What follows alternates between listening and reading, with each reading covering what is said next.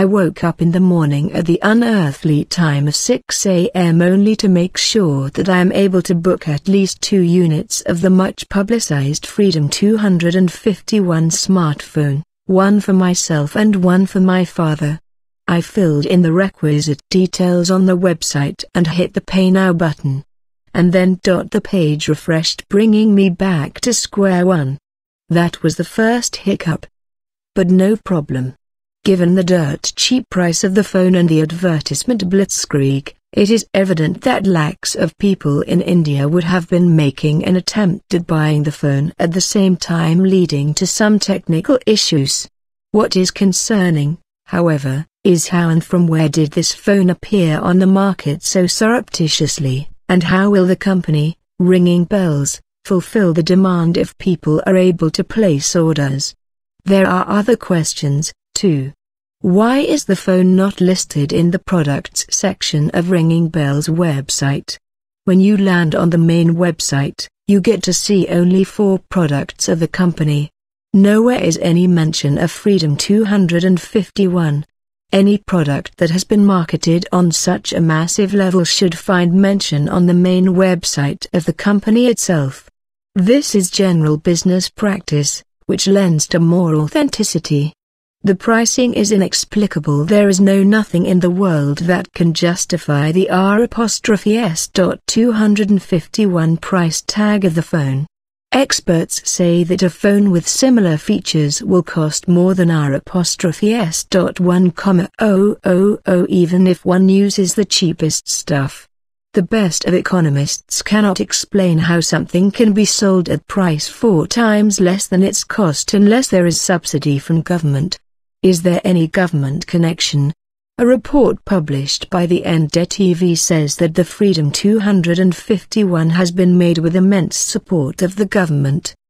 But there is no official confirmation of the same from any government official.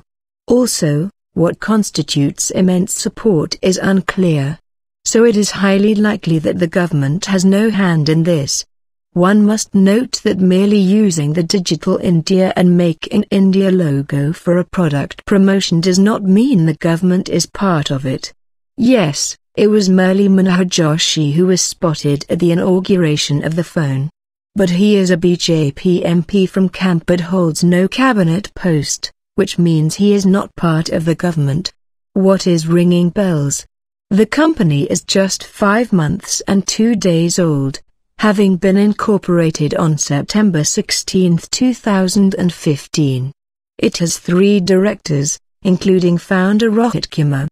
The other two are Sushma Devi and Rajesh Kumar.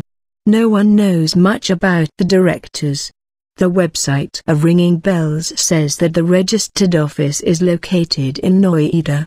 The company has invited distributors to help promote the products of the brand. What is noteworthy is that it does not clearly mentions the exact name of the brand. While the name of the company has been written as Ringing Bells Private Limited on all the pages of the website, the brand name is either Ring Bell or Bell on different pages, which is clearly confusing. Better illustrate this with an example.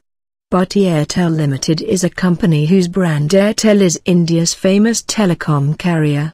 You do not see them using any other name for Airtel brand. What about the phone?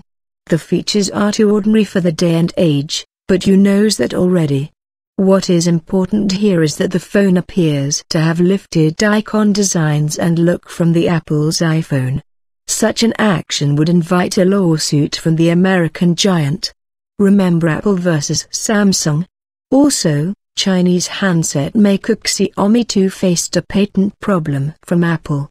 Copyright infringement is not handled lightly by anyone in the world. So, is this a fraud? It is too early to say anything on that yet. Yes, the look and functioning of the site does not match the level of hype generated over the phone. The poor English grammar in which the company is responding to queries on its Facebook page hints that Atiro is handling it. Then there is this Adcom Connect. Based out of New Delhi, Adcom is an importer of IT products.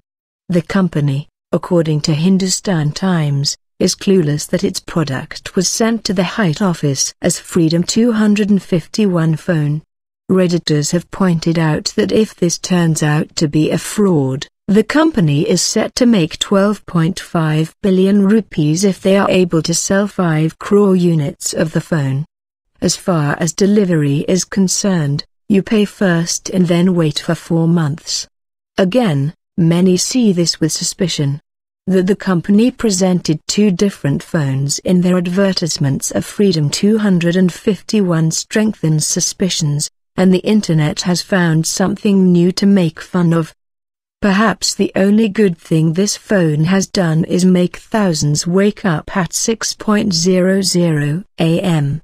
A smartphone at Rs 251 was a jaw-dropping headline. Touted as the world's cheapest smartphone, the price point naturally raised eyebrows and hopes.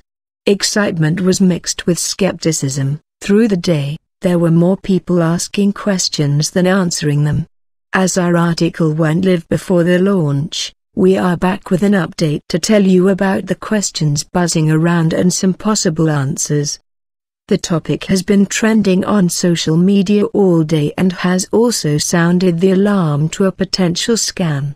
Here are a few facts that have emerged in the past few hours. 1. A blatant rip-off of Apple, the icons, the home screen, the entire UI appears to be a rip-off of Apple's iPhone. When asked about this, Ringing Bell's technical head Vikas Sharma admitted they had used Apple's icons, saying, We have used Apple's icons because Apple hasn't copyrighted their designs. It would appear that nobody at Ringing Bells read the news. The folks over at Apple probably do. 2. Website there are no contact details given on the website. There's a contact form instead. The site has most of the details hard-coded which can, at best, be called amateurish. A simple Whois query reveals that the domain was registered on the 10th of February 2016 and was updated on the 14th of February 2016, less than 10 days back. 3. Reselling without permission. The product came with AdCom branding, which was hidden by a whitener and overwritten with Freedom 251. And AdCom is denying that fact that it is selling or even manufacturing the phone for ringing bells. 4. Delivery date The delivery date was a good four months away, as mentioned on a website with no contact details. Another red flag seems to be the fact that Ringing Bells could have partnered with an online sales partner like Flipkart, Snapdeal or Amazon for pre-ordering the phone. All these sites have better scale for handling huge traffic that accompany pre-ordering. Another option was to put it up on crowdfunding sites like Indiegogo, Ketto or Wishberry to raise money to develop the product. They chose to go with their own not-so-shiny new website. 5. No personal money at stake. When asked at the press conference held to announce the release of Freedom 251, if the promoters of Ringing Bells had personally invested in the company, they stated that the entire capital comprised equity and debt investment. The promoters, it seems, have very little to lose in financial terms. 6. Cost Current technology does not allow for a mobile phone to be manufactured at this cost. The bare minimum is around 3,800 Indian rupees, even if it is subsidized. The company has made it clear that they have not received any subsidy, either from the government or any other third party for this project. The magic formula remains a secret. 7. 650 plus service centers, though the site claims to have over 650 service centers, there is no mention of even a single service center, and nobody knows which cities they exist in, let alone their actual addresses. 8.